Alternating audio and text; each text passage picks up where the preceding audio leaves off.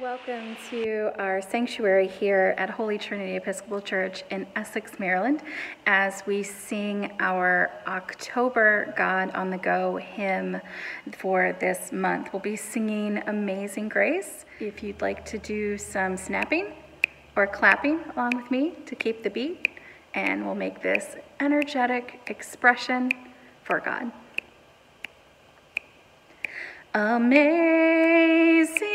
grace, how sweet the sound that saved a wretch like me. I once was lost, but now am found, was blind, but now I see.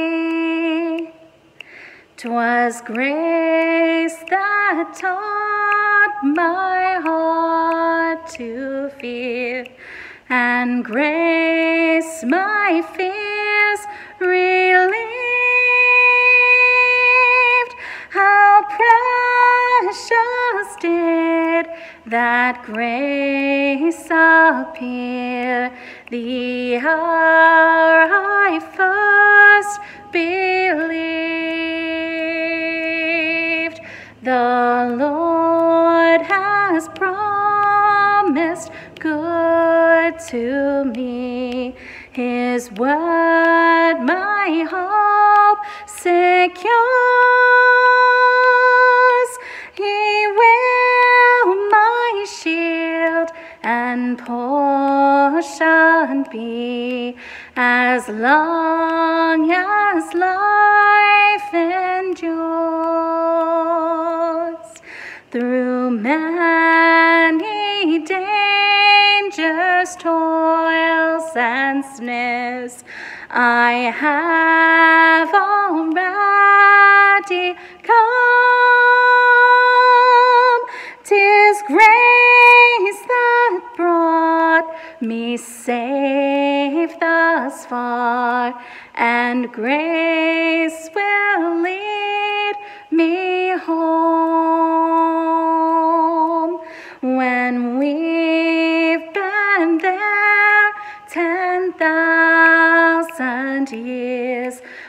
Bright shining as the sun, we've no less days to sing God's praise. Than when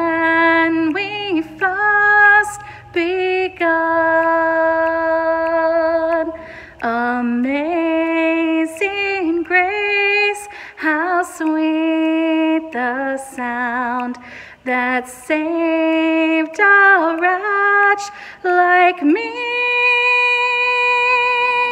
I once was lost, but now am found.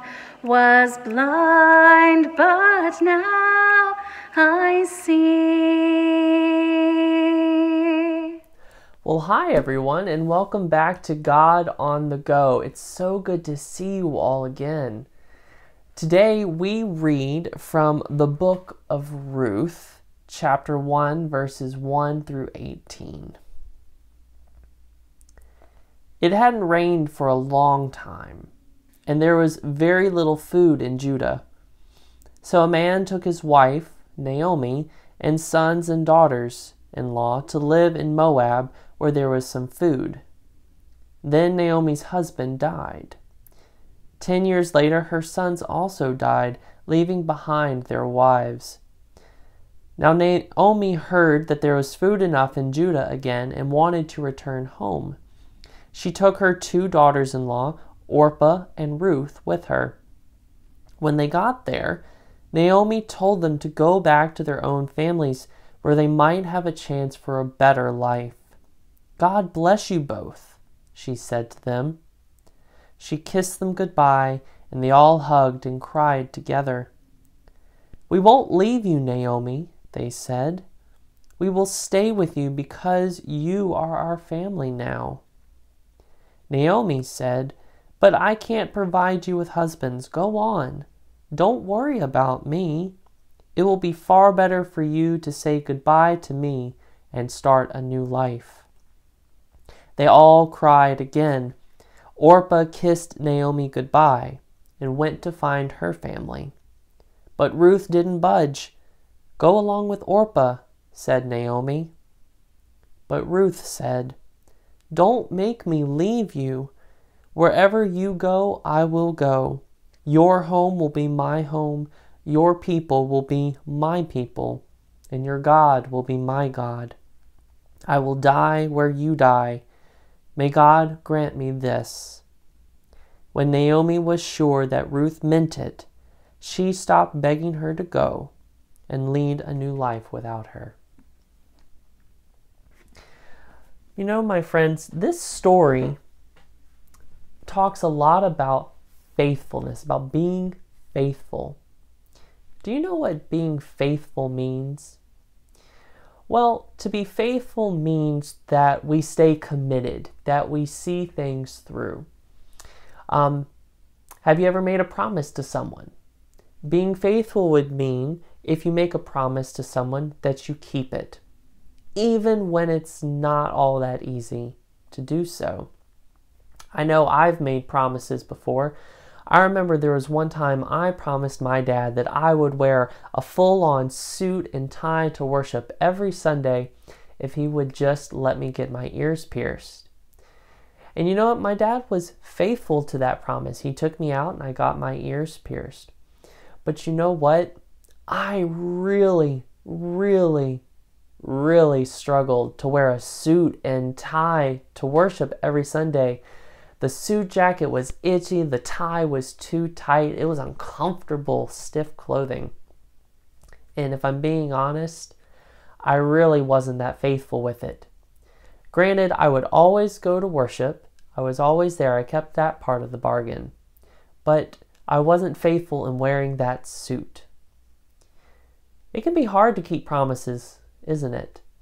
You know, we take and we make promises to people and we mean to follow through with it, but sometimes it just gets really hard.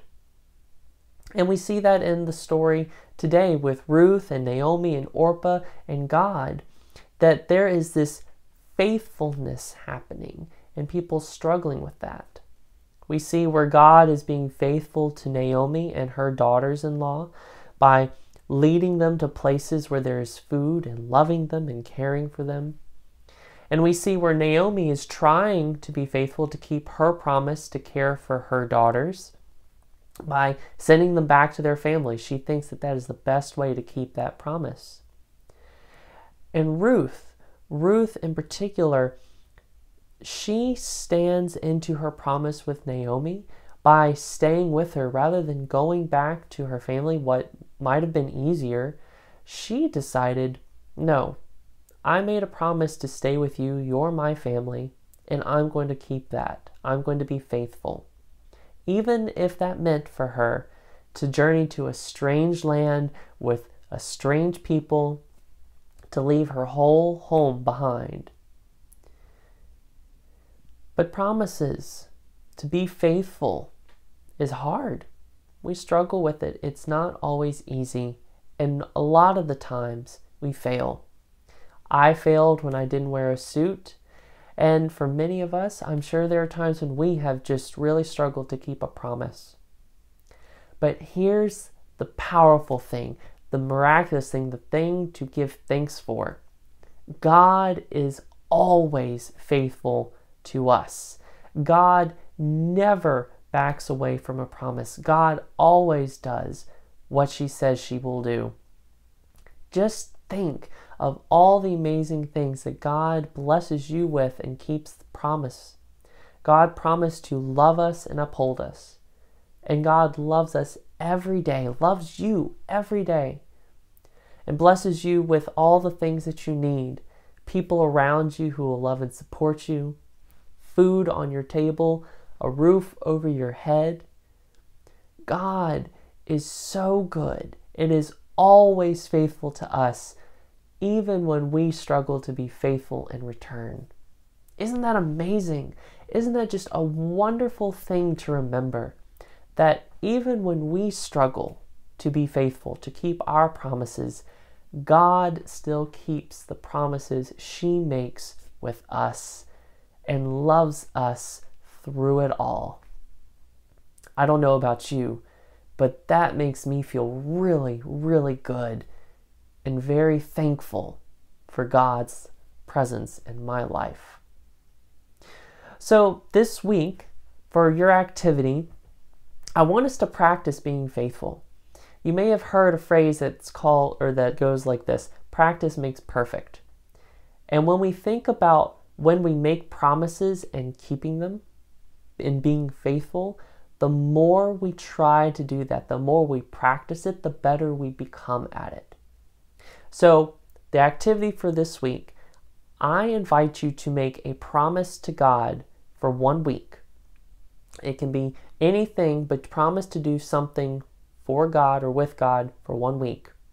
It could be something like promising God that every single night this week I will pray with my family before I go to bed.